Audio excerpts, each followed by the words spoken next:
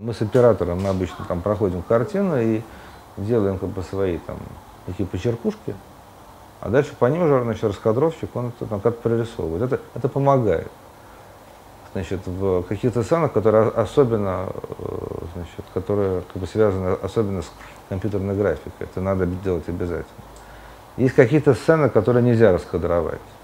Например, какую-нибудь там э, постельную сцену раскадровать невозможно. Хотя, как ни странно, ее необходимо репетировать. Потому что есть, скажем, вещи, которые, то, что ее тоже нужно как-то разрабатывать, а импровизировать ее, скажем, ну, нельзя, потому что у всех воображение ограничено, а тем более в, ну, как бы, при всем, скажем, подобных вещей возникает там, естественно, как бы некая скованность. Чтобы ее не было, это надо все там разрабатывать тщательно там, там, до жеста. Да? Это надо репетировать, как проходить. Потому что когда это отрепетировано, тогда это легко делать. Ну как, это нелегко делать, но возможно сделать. С оператором, в принципе, все должно быть обсуждено и там договорено еще в подготовительном периоде.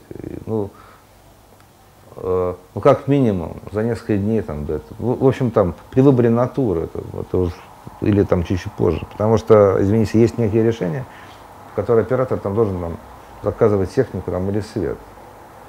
Если только это не американский продакшн такой дорогой, где люди возят с собой просто вообще как бы все на все случаи жизни.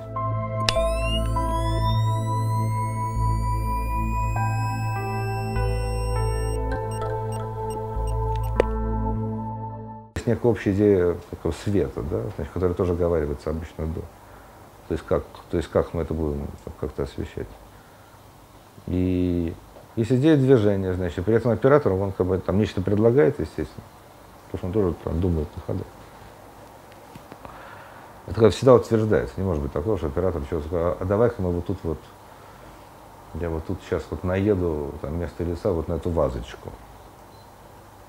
Как бы, а нафиг нам вазочка, как бы, значит, ну очень красивая вазочка. Но если он будет как-то, если он будет как-то убедительным, что нам вот зареза, значит, нужна эта ваточка, объяснит, зачем она, значит, нам нужна, то, то, то, то как бы черт с значит, можно и на ваточку наехать.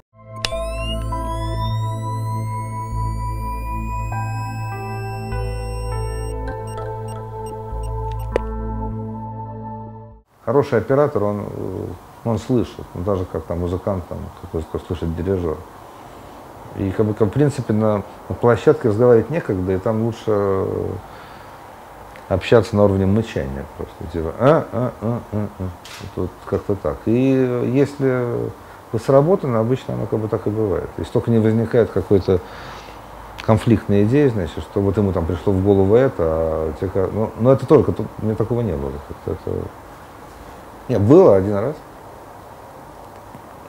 Я работал с Книжинским, который отличался тем еще как бы характером.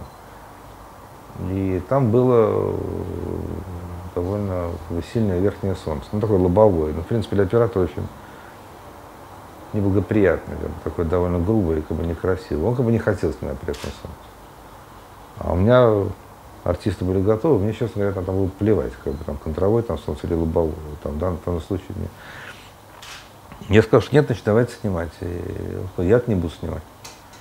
Но это было как бы, как бы, там, в те советские времена, как бы я был дебютантом, он там был классик. Я сказал, окей, не надо, я, я сам сниму, там, там, поставьте мне экспозицию, значит, и, в смысле, поставьте мне, мне диафрагму, и мне там померили, поставили диафрагму, я там сам, сам встал за камеру и дело снял, то есть как камераман.